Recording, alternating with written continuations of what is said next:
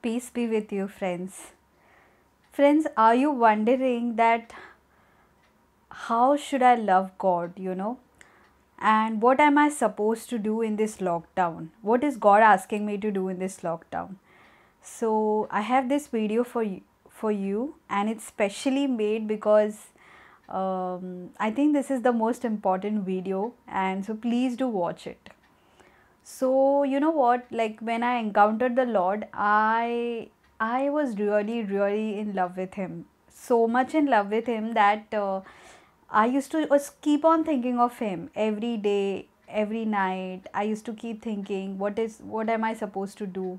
And uh, you know even my college friends used to ask me sometimes uh, why are you smiling all the time? Like and i'm like I, I don't know what to tell them because it's just the thought of jesus used to give me so much smile that i i just was not able to share that with them. Like why am i smiling all the time? And uh, so i wanted to share something with you like how my love for jesus increased. How did i practice it? What did i do exactly? Not to tell you or boast you about anything because i know like i'm still struggling a lot but whatever i could do and i i learned from the holy spirit and i did i want to share with you all. So if you ask jesus what is the first thing he, he wants from you and me? So he's going to tell us the same thing which he told the people who are there in the bible. He said love the lord your god with all your heart with all your mind with all your strength with all your soul and uh, there is and love your neighbor as yourself. So these are the most important commandments. So if you want to love people the first commandment has to be done in the right manner. And uh, theory is always good but when it comes to practical how can we love god? So that's what i want to share with you. So firstly loving god with all of your heart. So i remember that uh, we have an idea of love and that is very different from what God has. So, love is basically uh, God. God is love. And for us, love is always something about a feeling and an emotion or that thing which uh, which excites us or makes us crazy. So, I feel that over the time, what I learned about love is like uh, love is in the present because love is God and God is love. And if God is love, I can love him anytime and be filled with love. So, you know, I have, so our heart is basically not always with God. You know, when we pray, it is all, almost many a time because we want something from God. God, please do this, fatafat. Ye, you know, please pray. I'm praying for this, that. Lord, please uh, make sure this happens. Lord, please do this. And we are crying, complaining, or something or the other. Many a times we uh, tend to come to the Lord not with a heart. It is always like, even if I do a prayer, it is always like, okay, this is a pattern of prayer. I will sit, I'll do in certain, certain way. And which is right. Like sometimes we have an order for prayer, we have verbal prayers, which are very good. But our heart is somewhere else. You know, our heart is not with God itself you know heart has so much compartments one is for our parents one is for our friends one is for this or that or one is for a future spouse if we have not met him or uh, many things.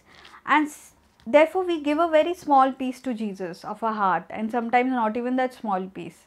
And even if we give it we take it back from him because we want it. So i think uh, we have to take all these parts and f- give our whole heart to jesus. What i'm saying is basically not waiting upon your future spouse that that person will be give you that love which you are longing Jesus is love, believe me. So, not waiting for any kind of attention or appreciation. Sometimes we give that part of our heart to our uh, to a husband or a wife, thinking that this person will love me someday.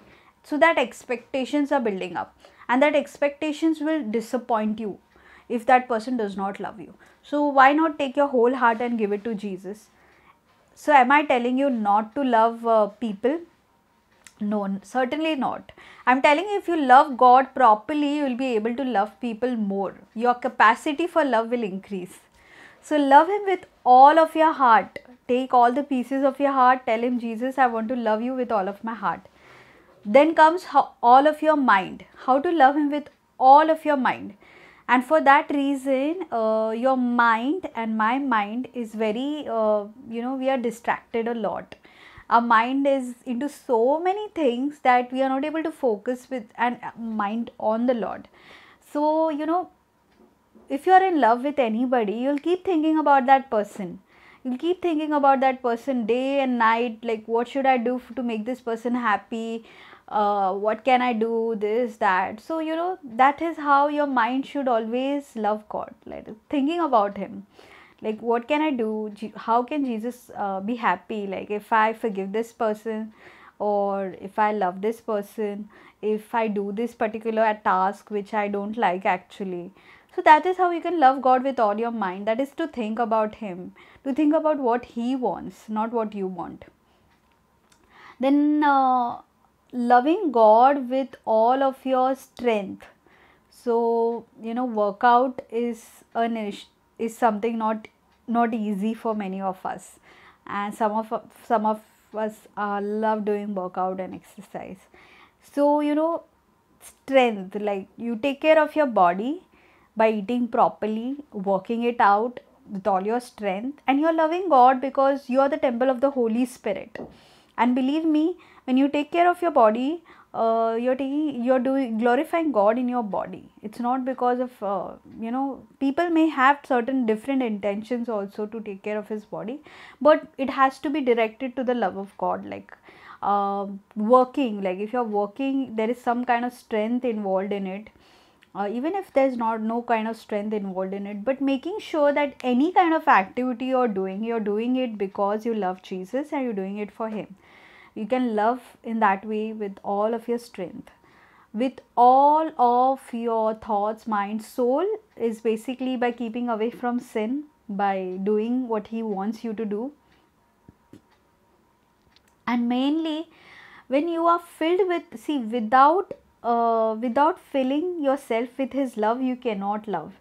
So if you have a car and there is no diesel or there is no petrol in your car your car is not going to move. So sitting in prayer spending quality time with jesus is very important because he is the one who is going to give you love. That is the holy spirit. And with that love in your heart you can love him and others. And without that everything will be just a task. It will not be love you know. So your service should also flow from love. So what i've learned over the time is like when i'm in love with jesus when i'm filled with his love then everything seems very easy. That is loving people seems easy forgiving people seems easy doing what he wants me to do seems easy because i am happy. I am fulfilled because God loves me and I am aware of His love. I'm accepting His love that doesn't mean that i'm not uh, going wrong. Like i repent for all the times i've not done whatever he wants me to do but i get up again. And why we need to love him is very important. I'm going to tell, share with you. That's in matthew chapter 7 verse 24 onwards. You read it in your bible. It says that everyone everyone who hears these words of mine and acts on them. So it's basically not theory. It's about practical they are like the wise man who built his house upon the rock. Who is the rock? Jesus himself. The rain fell, the floods came, the winds blew and beat on the house, but it did not fall because it has been founded on the rock. And everyone who hears these words of mine and does not act on them is like a foolish man who built his house upon the sand, and the rain fell, the floods came, and the house was totally gone. So, what is the word which basically Jesus, if you want to sum up the Bible into one word, that is love God and love neighbor. So, loving God, if you're doing it effectively, you can love neighbor as well. So, that's how keep loving God in this lockdown and find a purpose and meaning because without love, there's nothing, and God is love. Thank you. Bye bye.